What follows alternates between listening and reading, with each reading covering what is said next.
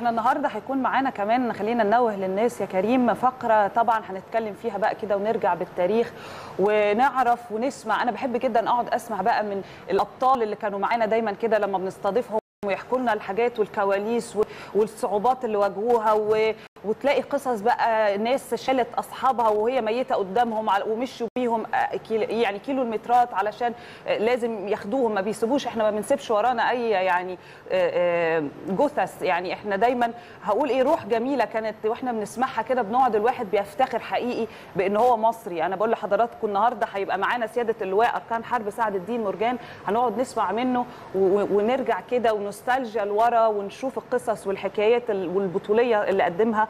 أبطالنا فأعتقد دي فقرة هتبقى في غاية الأهمية حضراتكم حقيقي لازم تتابعوها.